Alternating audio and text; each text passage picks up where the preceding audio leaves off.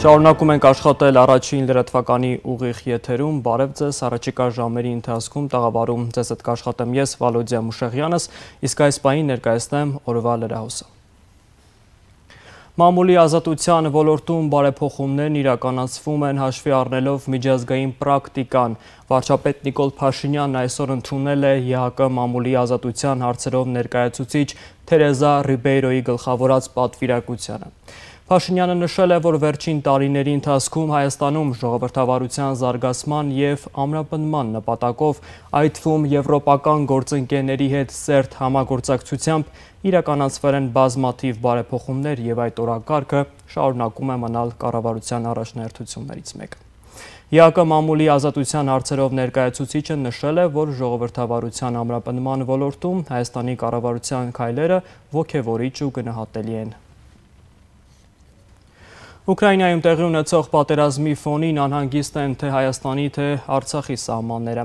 Արցախի ոստիկանությունը հայտնում է, որ այսօր ժամը 10:20-ի սահմաններում ադրբեջանական կողմը նախնական տվյալներով ականանետի 120 մմ-անոց երկու ական է արձակել Ասկերանի շրջանի Խանապատ գյուղի դպրոցամերձ տարածքի ուղությամբ։ Դուժասներ չկան, ոստիկանությունը նաև նշում է, որ Մարտունու շրջանի թաղավարդ գյուղի հարակից ադրբեջանական դիրքերից բարձրախոսներով գյուղը լքելու սպառնալիքներ են հնչել։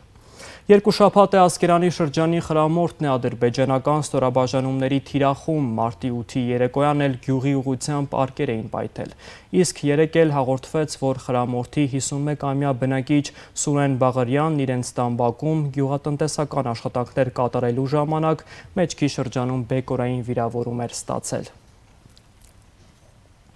Արցախի իշխանությունները եւ Ռուսաստանի խաղապահ զորակազմը ձեռնարկում են բոլոր հնարավոր միջոցները Արցախում ցակած խնդիրներին հնարավորինս արագ լուծում տալու, բնակչության բնականոն կյանքն ապահովելու, ինչպես նաեւ Ադրբեջանի հանցավոր արարքների մասին Արցախյան եւ հայաստանյան խողովակներով միջազգային կառույցներին իրազեկելու ուղղությամբ։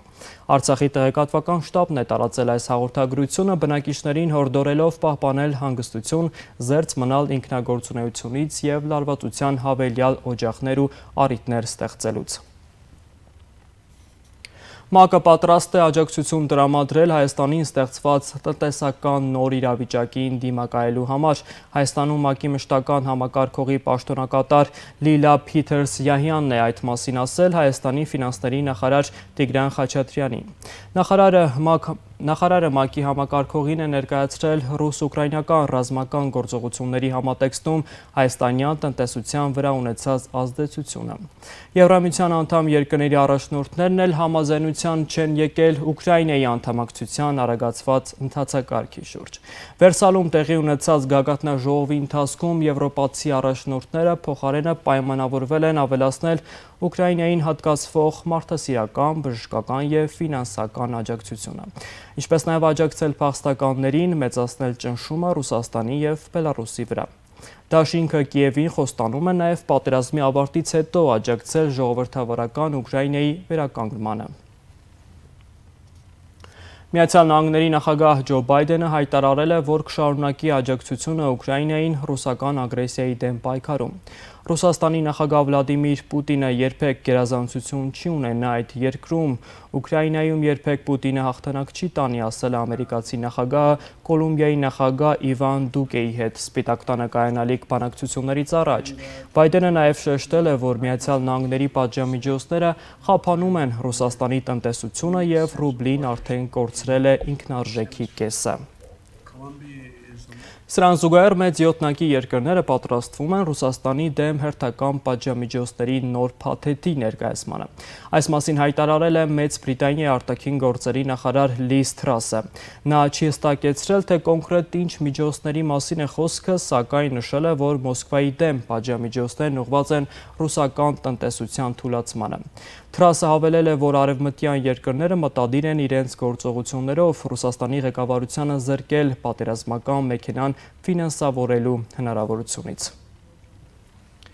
Թուրքիայի նախագահի պաշտոնական ներկայացուցիչ Իբրահիմ Քալենը կարծիք է հայտնել, որ մոտ ապագայում կարող է կայանալ Ռուսաստանի եւ Ուկրաինայի ղեկավարներ Վլադիմիր Պուտինի եւ Վլադիմիր Զելենսկու հանդիպումը։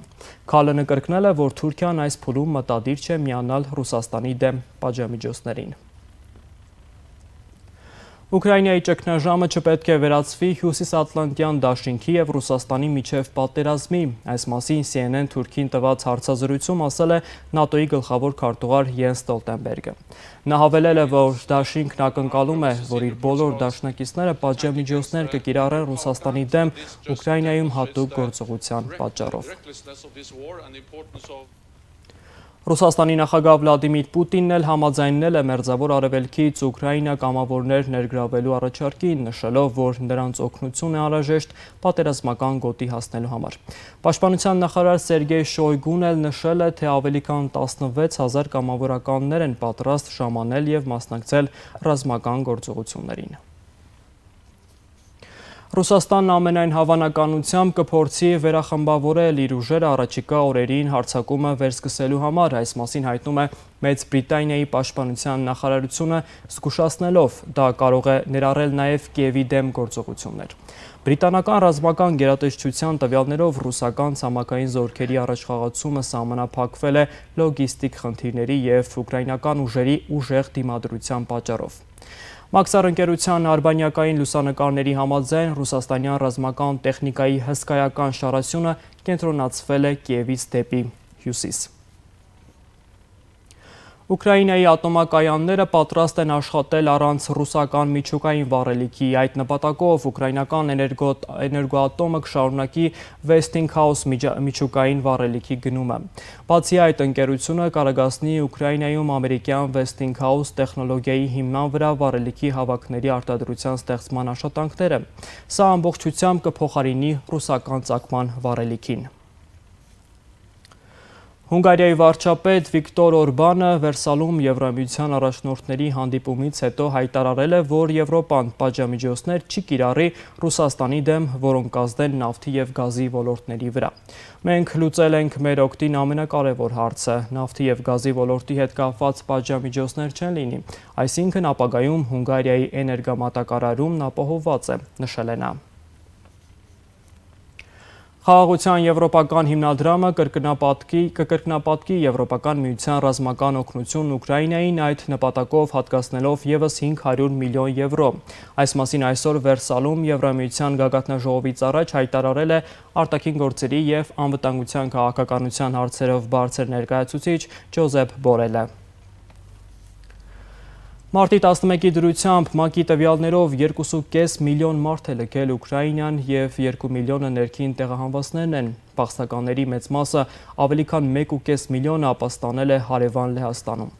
Հունգարիան ընդունել է 225 հազար, Սլովակյան 176 հազար, Մոլդովան 104 հազար տեղահանվածի։ Մակի իմիգրացիայի միջազգային կազմակերպության խոսնակ Փոլ Դիլոնի խոսքով 2.5 միլիոն փախստականների թվում 116 հազար օտարերկրյա քաղաքացիներ կան։ Ռուսաստանի էկոնոմիկայի նախարարությունը կառավարություն եւ գլխավոր դատախազություն է ուղարկել մոտ 6 տասնյակ օտարերկրյա ընկերությունների ցուցակ, որոնք լքել են ռուսական շուկան եւ որոնց ակտիվները կարող են պետականացվել։ Սպիտակ տան մամուլի քարտուղար Ջեյմ Սակին մեկնաբանել էր Ռուսաստանում օտարերկրյա ձեռնարկությունների ազգայնացման հնարավորությունը։ Ռուսական իշխանությունների ցանկացած անօրինական որոշում բռնագրավելու այդ ընկերությունների ակտիվները ի վերջո միայն լրացուցիչ տնտեսական տարապ Եվրոպան կբերի Ռուսաստանի համար, ասել էր խոսնակը։ Եվ միջազգային քրեական դատարանի գլխավոր դատախազը պահանջում է ձերբակալել հարավային Օսիայի նախկին 3 պաշտոնյաների, որոնք կարող էին առնչություն ունենալ 2008 թվականին ռուս-վրացական պատերազմի ընթացքում տեղի ունեցած հանցագործություններին։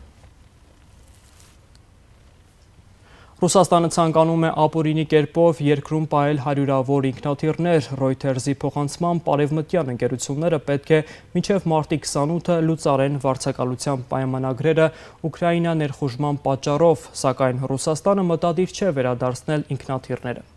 Տասնյակ միլիարդավոր դոլարների արժողությամբ գույքի համար դատական քաշքշուկները կարող են մեկ տարի տևել։ Ռուսաստանի տրանսպորտի նախարարության ներկայացրած օրինագծով հատուկ հանձնաժողով է որոշել, հատուկ հանձնաժողովն է որոշելու վերադարձնել ինքնաթիռները, թե ոչ։ Ռուսաստանը ժամանակավորապես արգելում է հացատիկային մշակաբույսերի արտահանումը Եվրասիական տնտեսական միության երկրներ, այդ թվում Հայաստան։ Ըստ պաշտոնական հաղորդագրության սահմանափակումը տարածվում է ցորենի, գարու, եգիպտացորենի վրա։ Այն ուժի մեջ կմտնի մինչև օգոստոսի 31-ը։ Բացի այդ արգելվում է շաքարի եւ եղեգնաշաքարի հումքի արտահանումը Եվրասիական տնտեսական միության տարածքից դուրս։ Ըստ Ռուսաստանի գյուղատնտեսության նախարարության որոշման նպատակն է թույլ չտալ, որ ռուսական ցորենը երրորդ երկրներ հասնի ԵՏՄ տարածքից։ Թուրքական Պեգասուս ավիաընկերությունը մարտի 13-ից 27-ը դադարեցնում է թռիչքները դեպի Ռուսաստան եւ հակառակողությամբ Ուկրաինայի շուրջ ստեղծված իրավիճակի եւ Ռուսաստանի դեմ պատժամիջոցների ֆոնին։ Ընկերության փոխանցման պատժամիջոցներ եւ սահմանափակումներ են մցվել չվերթների ապահովագրության, վերապահովագրության, լիզինգի, տեխնիկական սպասարկման հետ եւ այդ պայմաններում ռիսկային է թռիչքներ իրականացնել։ Հայաստանի կենտրոնական բանկն էլ չի հստակեցնում, թե ինչ է ձեռնարկելու Ուկրաինայի ազգային բանկի հայտարարության վերաբերյալ, որով կոչ է արվել այլ երկրներին, այդ թվում Հայաստանին դադարեցնել ռուսաստանյան միր վճարային համակարգի հետ աշխատանքը։ Ուկրաինայի ազգային բանկը երեք դիմել էր գործընկեր երկրների բանկերին ռուսական միր վճարային քարտերով ազգային համակարգերում գործառույթների դադարեցման կոչով։ Հայաստանի կենտրոնական բանկից հայտնում են, որ որևէ գործողության դեպքում պատշաճ կիրազեկեն։ Եվ Վրաստանի մայրաքաղաք Թբիլիսիում մթած Մինդա թաղամասի փողոցներից մեկը պաշտոնապես անվանակոչվել է հայազգի կինոռեժիսոր Սերգեյ Փարաջանովի անունով։ Հենց այդ փողոցում է ծնվել եւ մեծացել արվեստագետը։ Փողոցի բացման արարողությունը կկայանա մոտ օրերս Թբիլիսի ավականու նախաձեռնությամբ։ Այս ժամի համար նախատեսել էինք լուրերի այս թողարկումը։ Ես հիշեցնեմ, որ քիչ անց տաղավարում կարևոր զրույց եմ ունենալու Բորիս Նավասարդյանի հետ մնացեք առաջին լրատվականի ուղիղ եթերում։